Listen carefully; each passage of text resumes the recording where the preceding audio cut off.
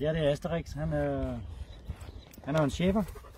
Og ham er jeg i gang med at træne øh, en måneds tid. Vi er halvdelen henne i forløbet nu her, og vi er egentlig bare ude på en tur. Ude på vores berøm, berøm, berømte og berygtede ring.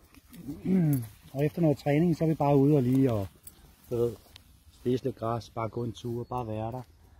Så øh, det vi gør, Asterix og jeg, det er, at vi nyder egentlig bare det, vi har haft lavet.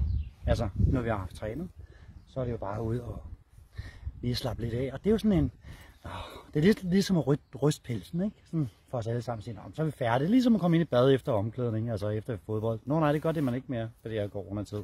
Jeg går de ikke i bad. Men det gør vi altså. Vi ryster os lige og, og går turen og slapper af. Fordi det er en del af også at ikke at få det her stress. Det er simpelthen godt foregå stille og roligt. Ikke?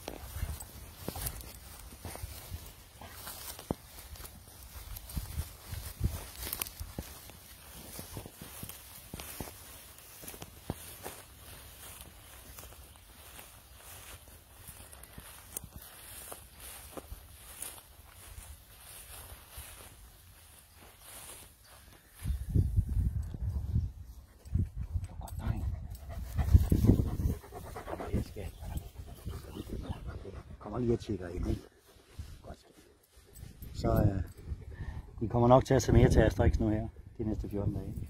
Så vi ses derude. Kom bare.